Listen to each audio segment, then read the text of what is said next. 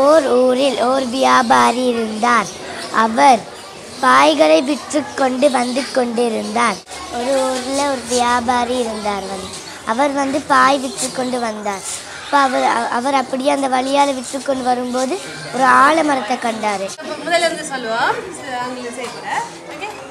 Okay. சிரிங்க சிரிங்க நல்லா சிரிங்க. ஆக்ஷன் ஒரு ஊரில் ஒரு வியாபாரி இருந்தார். அவர் பாய் விற்று கொண்டு வந்தார். அந்த அ- அவர் வார வழியில் ஒரு ஆலமரம் இரு பெரிய ஆலமரம்னு இருந்துச்சு.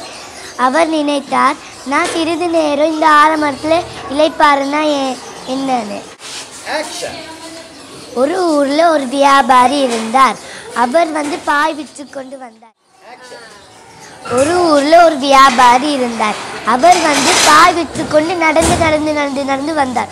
இப்போ அவருக்கு நிறையா தூரம் நடந்தனால கால் வலி வந்து அப்புறம் அவருக்கு கொஞ்சம் நேரம் இலைப்பார ஏதாச்சும் ஒரு மரத்தை தேடினார். அப்போ அவனுக்கு ஒரு பெரிய ஆலமரம் இருந்துச்சு. இந்த ஆலமரத்துக்கு கீழே நல்ல நிழலாகவும் இருந்துச்சு. சரி இந்த ஆலமரத்தில் கொஞ்ச நேரம் போய் நாங்கள் இலைப்பாரி இருப்போம்னு போய் போய் அந்த ஆலமரத்தில் படுத்து கொண்டார் அப்புறம் அவர் படுத்துக்கொண்டே அந்த ஆள் ஆலமரத்தில் இருக்கிற பழத்தை பார்த்தா ஏன் இந்த ஆலம்பழம் இவ்வளோ சின்னதாக இருக்கு? நல்ல பெருசாக இருந்தால் வாரா வாராக்கள் எல்லாம் நல்லா சாப்பிட்டுட்டு போகலாமேன்னு அப்படியே நினச்சி கொண்டு இருக்கும்போது சிறிது நேரம் அவருக்கு தூக்கம் வந்து அவர் தூங்கி விட்டாராம் அதுக்கப்புறம் ஆலம்பழம் ஒன்று அவருடைய நெத்தியில் விழுந்துட்டு திடுக்கு எழும்பிட்டார். ஆலம்பழத்தை நல்லா பார்த்தாரு.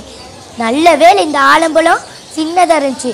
பெரிதாக இருந்துச்சுன்னா என் மண்டை என்ன ஆகியிருக்கும்? என்று நினைத்தார் அதுக்கப்புறம் அவர் நினைத்தார் நடக்கிறதெல்லாம் எங்களுக்கு நல்லதுக்காகத்தான் நடக்குதுன்னு.